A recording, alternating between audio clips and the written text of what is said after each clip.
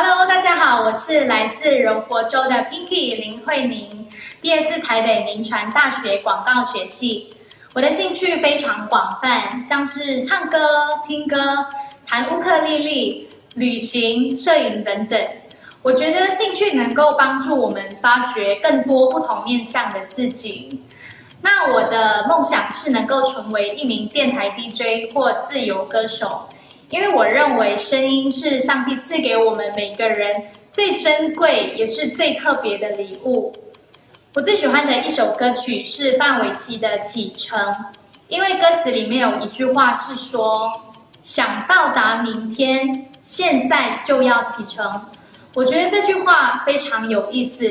也想要把这句话送给所有和我一样正在追寻梦想路上的朋友，谢谢。